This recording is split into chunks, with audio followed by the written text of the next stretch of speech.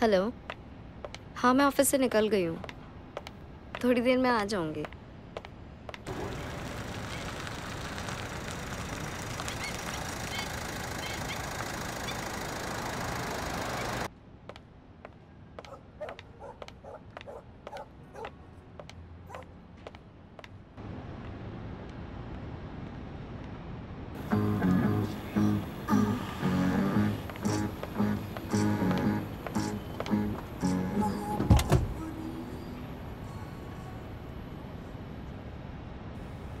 Madam जी कहाँ चलोगे? साकेत।